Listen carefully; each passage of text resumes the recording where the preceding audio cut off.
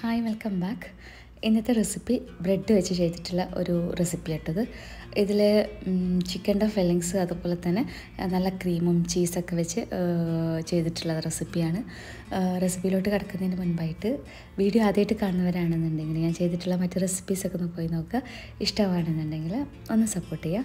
ഇനി ഇതെങ്ങനെ ഉണ്ടാക്കുന്നത് നോക്കാം. പാൻ ഒന്ന് ചൂടായി വരുന്ന സമയത്ത് ഇതിലോട്ട് ഓയിൽ ഒഴിക്കുന്നുണ്ട്. ഒരു രണ്ട് ടേബിൾ സ്പൂൺ ഓയിൽ ഒഴിക്കുന്നുണ്ട്. ഇനി ഇതിലോട്ട് ചെറുതായി കട്ട് ചെയ്തിട്ടുള്ള ഉള്ളിയാണ്. ഉള്ളി ഞാൻ ഒരു വലിയ ഉള്ളിനെ എടുത്തിട്ടുണ്ട് കേട്ടോ എല്ലാം ഒന്ന് നന്നായിട്ട് വയറ്റി യോജിപ്പിക്കുക. ഉള്ളി ഒന്ന് വയന്ന് വരണം. അപ്പോൾ അതുവരെ ഒന്ന് വെയിറ്റ് ചെയ്യാം. ഇപ്പോൾ ഇതാ ഉള്ളി വയന്ന് വന്നിട്ടുണ്ട്. ഇനി ഇതിലോട്ട് വെളുത്തുള്ളിയാണ് എടുക്കുന്നത്. ഞാൻ രണ്ട് ഇതുപോലത്തെ വെളുത്തുള്ളി എടുത്തിട്ടുണ്ട്. രണ്ടും ഇതിലോട്ട് ഗ്രേറ്റ് ചെയ്തിടുന്നുണ്ട്.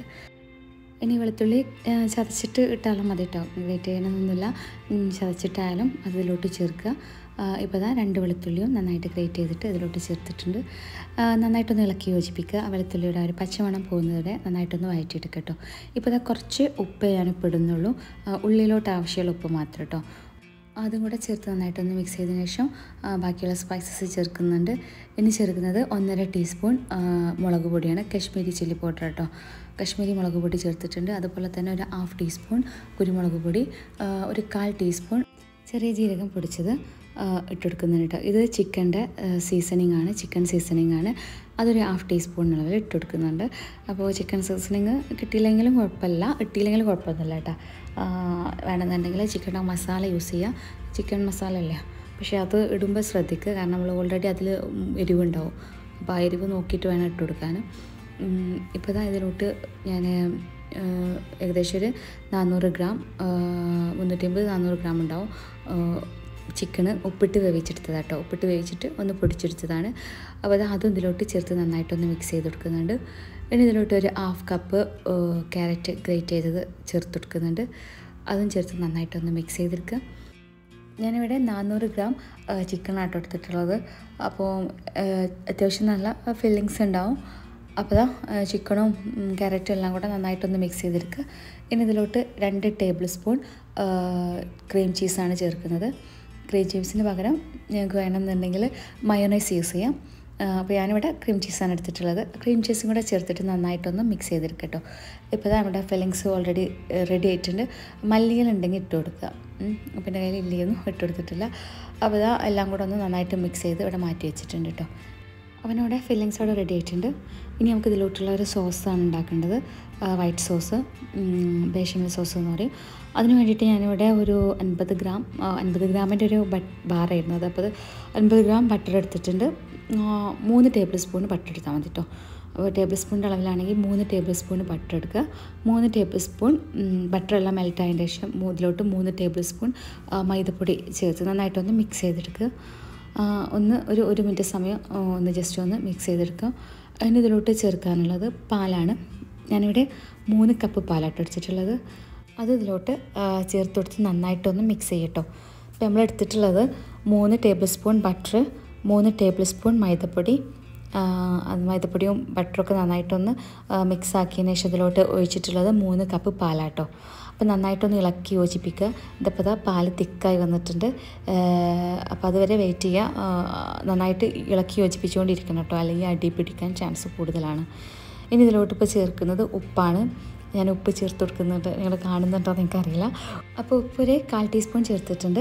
ഇനി ഇതിലോട്ട് ഒരു ഹാഫ് ടീസ്പൂൺ ഒരുകാനോ അതുപോലെ തന്നെ ഒരു ഹാഫ് ടീസ്പൂൺ കുരുമുളക് പൊടിയും ചേർത്തിട്ടുണ്ട് കേട്ടോ. എല്ലാം ഒന്ന് ചേർത്ത് നന്നായിട്ടൊന്ന് മിക്സ് ചെയ്യുക. പിന്നെ അതിലോട്ട് ജാതിക്കയുടെ പൗഡർ ഉണ്ടെന്നുണ്ടെങ്കിൽ അതൊരു കാൽ ടീസ്പൂൺ അളവിൽ ചേർത്ത് കൊടുക്കുക. പിന്നെ നിർബന്ധമല്ല കേട്ടോ വേണമെങ്കിൽ ചേർത്താൽ മതി.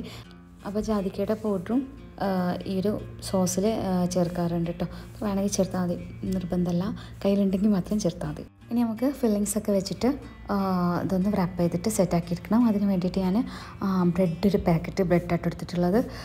ബ്രെഡ് ഒരു പാക്കറ്റ് എന്ന് പറയുന്നത് അതിലൊരു പതിനെട്ടെണ്ണം ഉണ്ടാവും. ചെറിയ ബ്രെഡ് ആണെങ്കിൽ ചിലപ്പോൾ പതിനെട്ടിൽ കൂടുതൽ വേണ്ടി വരും കേട്ടോ അപ്പോൾ നോക്കിയിട്ട് ചെയ്യാം. ബ്രെഡ് നന്നായിട്ട് സൈഡൊക്കെ ഒന്ന് കട്ട് ചെയ്ത് വെക്കുന്നുണ്ട്. ഇവിടുത്തെ ബ്രെഡ് അത്യാവശ്യം നല്ല വലിപ്പത്തിലാട്ടോ വലിപ്പമുള്ള ബ്രെഡാണ് അപ്പോൾ അത് പതിനെട്ടെണ്ണം ഉണ്ടുള്ളൂ ഒരു പാക്കിൽ അപ്പോൾ അതെല്ലാം സൈഡ് ഇതുപോലെ കട്ട് ചെയ്ത് ഒഴിവാക്കിയതിന് ശേഷം നമുക്കിതുപോലെ ഒരു റോളർ എന്തെങ്കിലും വെച്ചിട്ട് നന്നായിട്ടൊന്ന് പരത്തിയെടുക്കാം ചപ്പാത്തി ഒക്കെ പരത്തുന്ന റോളർ യൂസ് ചെയ്തിട്ട് നന്നായിട്ടൊന്ന് അമർത്തി പ്രസ് ചെയ്തിട്ടൊന്ന് പരത്തിയെടുക്കാം കേട്ടോ. ഇപ്പോൾ ഇതാ ഇങ്ങനെ പരത്തി നമുക്ക് ഏത് ഷേപ്പിലും അത് എടുക്കുക. അല്ലെങ്കിൽ പൊടിഞ്ഞു പോവും. നന്നായിട്ട് അമർത്തി തന്നെ പരത്തിയെടുക്കുക നോക്കുക. അല്ലെങ്കിൽ പൊടിഞ്ഞു പോകാൻ ചാൻസ് ഉണ്ട് മുറിഞ്ഞു പോകാൻ ചാൻസ് ഉണ്ട്. ഇതുപോലെ റോൾ ചെയ്തിട്ടാണ് ഞാനിത് സെറ്റ് ചെയ്യുന്നത്. അപ്പോൾ ഇതാ ഈ ഇതുപോലെ റോൾ ചെയ്തിട്ട് ഇതുപോലെ ഒരു ട്രയൽ വെച്ചിട്ടാട്ടോ ഞാനത് റെഡിയാക്കുന്നത് ഒരു ട്രേ ഒരു ട്രേ ഒരു ഈ ഒരു ട്രേ ഉണ്ട്. വേറെ ചെറിയ ട്രേ ഉണ്ട്. അപ്പോൾ ഞാൻ പറഞ്ഞല്ലോ നാന്നൂറ് ഗ്രാം ചിക്കനാണ് എടുത്തിട്ടുള്ളത്. അത്യാവശ്യം ഒരു നാല് ആൾക്ക് നന്നായിട്ട് കഴിക്കാനുള്ള ഫുഡ് ഉണ്ട് കേട്ടോ നാല് വലിയ ആളുകൾക്ക് തന്നെ അത്യാവശ്യം നന്നായിട്ട് കഴിക്കാനുള്ള ഫുഡ് ഉണ്ടാവും. അപ്പോൾ ഡിന്നറിന് ഉണ്ടാക്കിയതായിരുന്നു. ഇപ്പോൾ എല്ലാം അതുപോലെ റോൾ ചെയ്ത് വെക്കാം കേട്ടോ ഫില്ലിങ്സ് വെച്ചിട്ട് ഇതുപോലെ റോൾ ചെയ്യുക. ഇപ്പോൾ ഇതാ ഈ കുഞ്ഞ് ചെറിയ ട്രേണത് ഇതിൽ മൊത്തത്തിൽ ഒരു ആറ് ബ്രെഡ് ഒക്കെ കൊള്ളുള്ളൂ. അപ്പോൾ അതും ഇതിലോട്ട് വെച്ചിട്ടുണ്ട്. ഫില്ലിങ്സ് ബാക്കി ഉണ്ടായിരുന്നു അപ്പോൾ അതങ്ങനെ ഇപ്പോൾ ഈ ഒരു ഇതിൽ കറക്റ്റാട്ടോ ഈ രണ്ട് ട്രേയിലും ഫില്ലിങ്സും ഒക്കെ കറക്റ്റാണ് ഒരു പാക്ക് ബ്രെഡാണ് എടുത്തിട്ടുള്ളത്.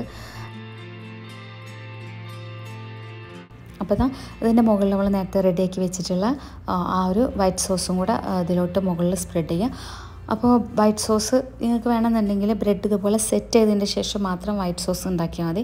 വൈറ്റ് സോസ് ഇരിക്കും തോറും അത് കട്ടി കൂടും കേട്ടോ. അപ്പോൾ ബ്രെഡ് ഇതുപോലെ റോൾ ചെയ്ത് വെച്ചതിന് ശേഷം എന്തുണ്ടാക്കിയാൽ മതി? വൈറ്റ് സോസ് ഉണ്ടാക്കിയാൽ മതി. അല്ലെങ്കിൽ വൈറ്റ് സോസ് ഇനി കട്ടി കൂടുകയാണെന്നുണ്ടെങ്കിൽ ഇച്ചിരി പാൽ എന്തെങ്കിലും പറഞ്ഞിട്ട് ഒന്ന് ലൂസാക്കി എടുത്താൽ മതി. അതിന്റെ മുകളിലായിട്ട് ഞാനിവിടെ മൊസ്ട്രല്ല ചീസ് വെച്ചിട്ടുണ്ട്. രണ്ടിലും അത്യാവശ്യം നന്നായിട്ട് കവർ ചെയ്യുന്ന രീതിയിൽ മൊസ്ട്രല്ല ചീസ് സ്പ്രെഡ് ചെയ്ത് കൊടുത്തിട്ടുണ്ട്. പിന്നെ പറയാനുള്ളത് എന്താ വെച്ചാൽ എല്ലാവർക്കും ചിലപ്പോൾ വൈറ്റ് സോസ് കൂടുതൽ അളവിൽ ഇഷ്ടമായെന്ന് വരില്ല. അതിൽ അത്യാവശ്യം നല്ല ക്രീമിയാണിത് ക്രീമി ആൻഡ് ചീസി കേട്ടോ ഇത് നല്ല ക്രീമുണ്ട് അപ്പോൾ വൈറ്റ് സോസ് അളവ് വേണമെന്നുണ്ടെങ്കിൽ നിങ്ങൾക്ക് കുറക്കാം. ചിലർക്ക് ഇങ്ങനെ വൈറ്റ് ആ ക്രീം കൂടുതൽ ഇഷ്ടമാകാത്തവർക്ക് വൈറ്റ് സോസിന്റെ അളവ് കുറക്കുക. രണ്ട് കപ്പ് പാൽ വെച്ചിട്ട് ചെയ്താലും മതി. അപ്പോൾ ഇതാ ഓവനിൽ വെച്ചിട്ടുണ്ട്.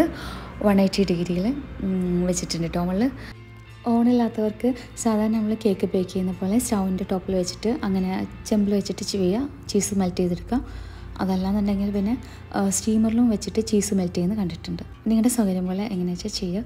ഇപ്പോൾ ഇതാ നല്ല അടിപൊളിയായിട്ട് വന്നിട്ടുണ്ട് നമ്മുടെ ഈ ഒരു റെസിപ്പി ബ്രെഡും അതുപോലെ എന്താ ക്രീമും ചീസും ഒക്കെ എല്ലാം കൂടെ നന്നായിട്ട് മിക്സ് ചെയ്ത് നല്ല അടിപൊളി ചിക്കന്റെ ഫില്ലിങ്സ് ഒക്കെ വെച്ചിട്ടുള്ള നല്ല ക്രീമി ആയിട്ടുള്ള ഒരു ബ്രെഡിന്റെ ഒരു റെസിപ്പി ആയിട്ടത് ഡിന്നറിനൊക്കെ കഴിക്കാൻ പറ്റിയിട്ടുള്ളതാണ്.